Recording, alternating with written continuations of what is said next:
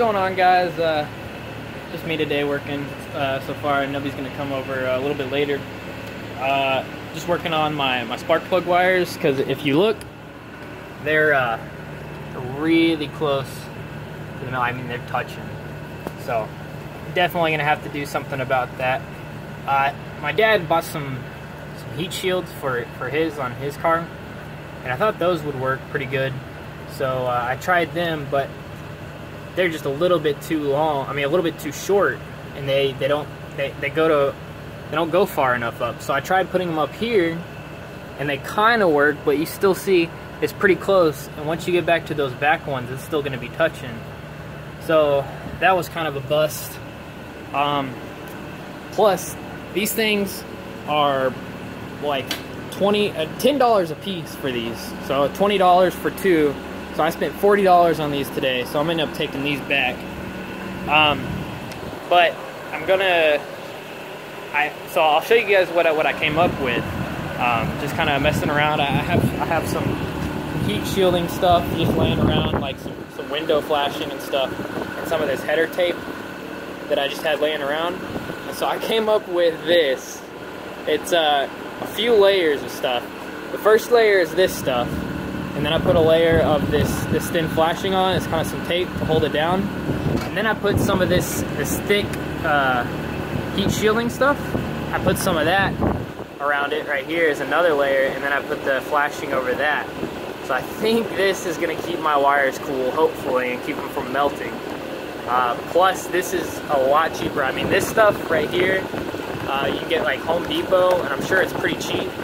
Uh, this stuff comes in a big roll. I don't know how much my dad paid for this. He gave it to me. He, he found it. I think he was gonna wrap the headers on uh, his car, but he gave he gave me some of this.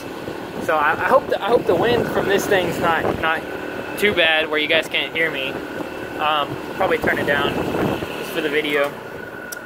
Uh, this stuff my dad had left over from doing his car as well. So I mean, most of this stuff is is free to me. So hopefully this will keep these these plugs real real nice and, and cool. Plus there's these that keep it cool around the heads. I uh, I ran out of some straight pieces of this three inch pipe I had. So uh, I had to go to the junkyard and get some more of that stuff. All I have right now are some bins. Uh, what I've done on the truck on the downpipe so far is I uh, I just welded this piece on today. Uh, I got to weld some more. I got to come down and, and finish my downpipe. It sounds really good with it like this though. So I went to the junkyard again today and I got another stretch of this stuff. This is the exact same stuff off another uh, Dodge pickup.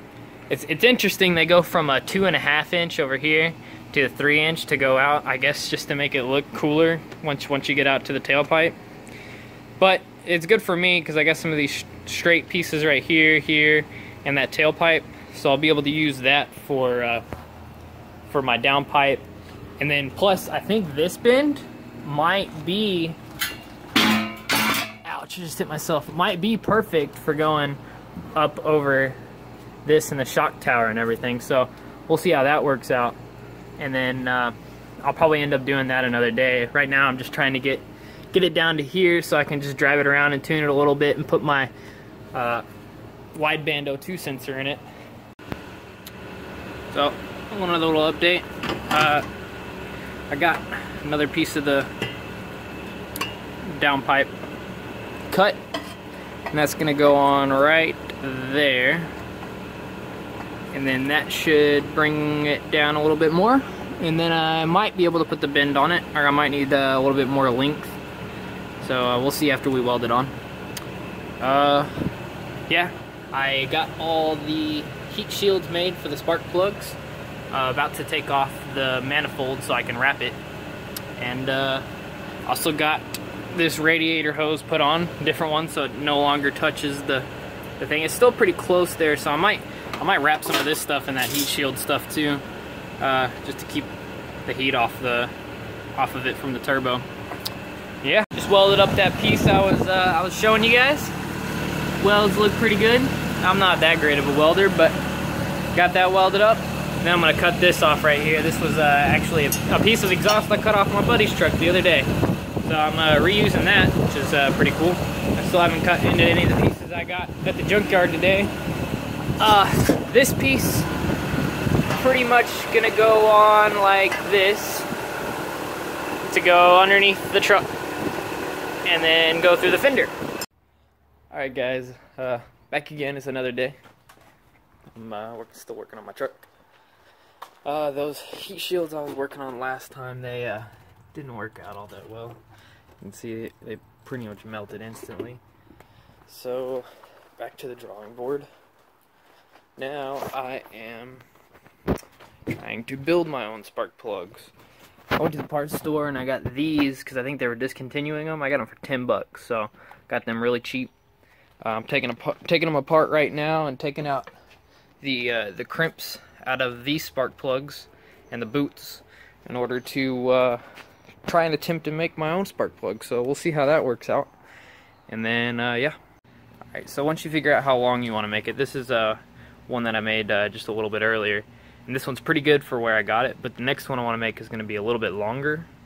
So I'm just going to line it up here and kind of figure out exactly how long I want to make this. So when it crimps up in there, it's going to be about right there.